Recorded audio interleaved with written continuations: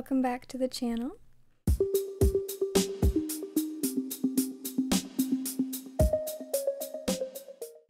Wanted to start off to say I am very sorry about the audio quality of the last video. I'm not sure what happened. I did find that there were some bugs in the microphone I got, so I quick replaced that and we are back on the road. The girl behind the counter just says that this happens with all technology and I completely understand that. Technology never works for me.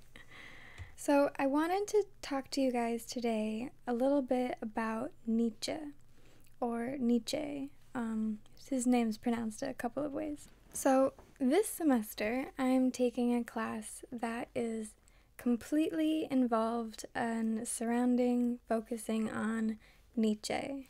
First, we've gone through Birth of Tragedy and then the gay science, and then we've been going through his Beyond Good and Evil both this last week and next. And the big question that Nietzsche asks the world is what is truth? Beyond Good and Evil basically is why do we revolve ourselves so much around ethics and moral codes, ethical codes of conduct? What are the truths behind both good and evil? Basically, what he says is there is no absolute truth in the way that most people see it. There are truths like gravity exists, that is a definite and provable truth, but there is no truths that to what is good or bad in most cases. As someone who is going to school to be an ethicist, this was very interesting to me. It being a required history class, I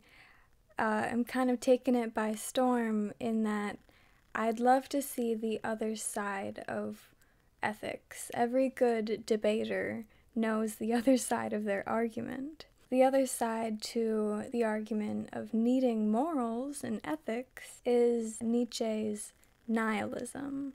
He is the father of nihilism in just a few words, it is that nothing matters and there is no real purpose to life. Like you just do you, dog, kind of thing. It was, it's pretty uh, chill and roll with the punches basically. But this can also like go in a bad way and you could, you know, do bad things because you don't think there's any real purpose to life and one cannot justify themselves with that in a real society. Another thing that Nietzsche kind of founded was perspectivism, which is that our truth is just our reality. The way we see the world, the reality, is just our perspective. I've taken a couple of sociology classes, and in those, we learn the exact same thing. In the intro to sociology, the first thing we learned was to have a sociological imagination. What that is, is to have cultural relativism, and that we cannot judge others for being different or, you know, being different than our culture because it doesn't really matter in a real way. Take, for instance, like social norms, different folkways, mores, and taboos. All of these differ from society to society, and even in smaller cases, from city to city. So, sociology tells us that in a small way, culture is people creating small carbon copies of themselves and their own norms and what they do. And this is our culture, this is who we are. The fun part about the word culture is that it, it goes in so many different directions. And one thing that uh, Buddhists say is that you have to cultivate yourself and pretty much all philosophers say this is that you have to learn as much as you can. And Confucius says, I'm pretty sure it's Confucius, he says, learning or knowledge is infinite, but the human lifespan is finite. And so to seek all knowledge is leading you to only dissatisfaction. But the route to seeking knowledge is what leads you to true satisfaction.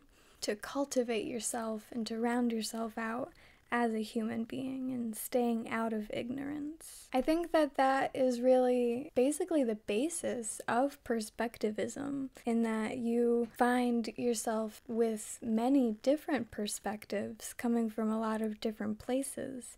And that's why we cultivate ourselves, because when you learn different perspectives, you can see things from different points of view, and then you can realize what is good or what is bad. And most often, you say, everything just is. Life is that simple. What I really want to do in my lifetime is take a nice portion of it to study the creator of Star Trek, Gene Roddenberry. He created the Star Trek's Starfleet, the uh, the people are in Starfleet in Star Trek. They run by a code of conduct called the Prime Directive, or also known as the Non Interference Directive. And this code of conduct is where the people in Starfleet, in Star Trek, when they're traveling and adventuring and seeking new worlds, um, they can't interfere with underdeveloped alien races, like the ones without technology or the ones who can't like move past a specific social barrier. They can't just be like, here's the easy fix to your problem, I'll just fix that for you. Because uh, that's how people become dependent on other people. In the Star Trek universe, there is not a whole lot of talk on what goes on on Earth. Like, zero episodes happen on Earth. But when they do talk about it, it sounds like the most utopian place you'd ever heard of. Like, they don't use money, they don't um, rely on health care. They're pretty much the most socialist society you'd ever heard of because everyone just has each other's backs. Everyone just works for the same goal, and that is the happiness of society and one's own happiness. One could expect, like, all of the small jobs are just done by robots, and the rest of society goes and does what they actually want to. And because the universe is so humongous, and pretty much jobs are infinite if you can just learn an alien language, it's really, you can just do anything. And I know that that wouldn't be entirely possible in our society because there aren't just other planets to go to when there aren't enough jobs here. But robotic automation is happening, and for that reason, I think that Star Trek would be the most perfect uh, type of universe and type of philosophy to look at. Gene Roddenberry really wrote the most beautiful show. He goes through a lot of very famous ethical problems through his characters. The specific one I have in mind is Next Generation. Captain Picard is like the master at dealing with ethical situations the one very specific episode I have in mind is where Wil Wheaton breaks a law on a planet where if you break a law, you have to die, which is ridiculous, but that's the most intense form of deontology you'd ever heard of. If you don't follow the rules, you're not allowed to be a part of society. And that's how they make it work. Captain Picard has to make the prime directive work. Like, how do I not interfere with their laws, but still abide by the prime directive and still save Wil Wheaton, of course? I mean. I think that if Nietzsche were alive today, he would be a lot like Gene Roddenberry, as well as Socrates. Both Nietzsche and Socrates were part of the creators of the epistemological movement, which is how do you know what you know? What is the truth? Where does this come from? My question to now is where Nietzsche called himself the philosopher of the future, and that future is relatively now We almost need a new philosopher of the future and that's where I think that we should look to Gene Roddenberry. Looking at both of them, I think that we should ask ourselves, why do we find such value in money? What is what is the truth to money? Why do we give each other things and then give the other person a slip of paper? Or in almost all scenarios, just atoms floating in the internet,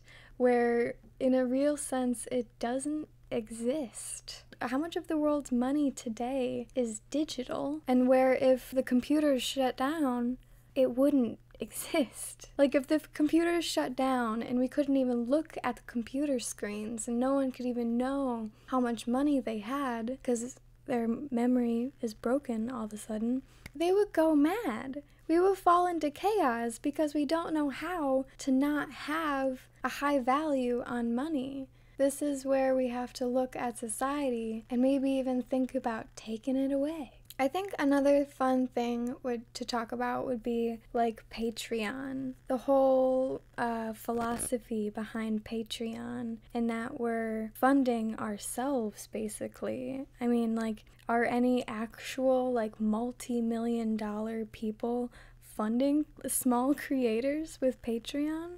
If so, please tell me. I would love to know. But in any normal scenario, it's someone with like a thirty to eighty thousand dollar a year job funding someone else to have that much. And we're almost recreating our own economy without the big guys involved at all. I think that's hilarious and beautiful in itself. I would love to promote that, and I don't know. I would just love to talk about money with you guys. I think it's a very interesting topic. Is it just one of humanity's odd truths? One of the non absolute truths that we just all attune ourselves to. We all just listen to the big guys who have been running the world for thousands of years. Or not that, hundreds of years. Why do we still do this? I don't know. I, I could talk on this for hours. I've honestly been thinking about uh, why does the cost of living go up? Why is that an absolute truth? I'm convinced it's just because it does. There's no reason. It just does. If anyone has an actual reason, please let me know. Maybe that could be the topic of our next video. But in any case, I will see you then. And thank you so much for joining me today and sticking around this long. And I love you. Have a great one. Bye bye.